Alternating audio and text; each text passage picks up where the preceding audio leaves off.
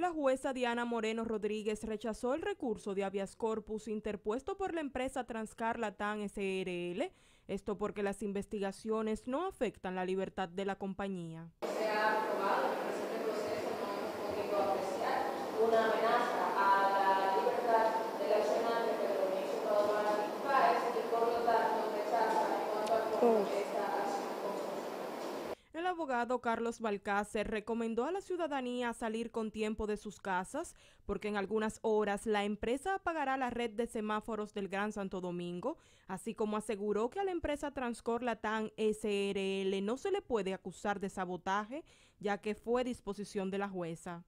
De que procure, por lo menos mañana, salir lo más temprano de sus hogares para que lleguen a sus cometidos y destinos a tiempo porque se va a desconectar el sistema semafórico. Es una parte neurálgica del Gran Santo Domingo. Con esto se apaga el sistema entero. Y mañana entonces, Carlos Pimentel, ojalá que pueda dirigir él el tránsito. Esto no es una amenaza, ¿eh? esto es una advertencia. En la nación no solo se ha presentado representantes de la empresa, sino también el presidente del grupo empresarial norteamericano Transcor LP, Rey Cuesta, quien explicó por qué este proyecto es tan ambicioso.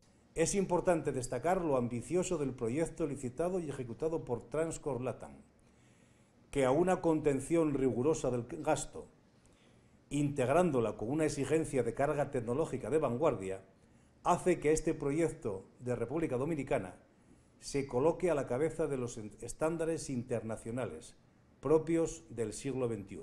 El referido proyecto que promete modernizar el centro de control vial es respaldado por diversos sectores como transportistas quienes pidieron al gobierno agilizar el proceso de licitación. Para Telenoticias, Eva Santana.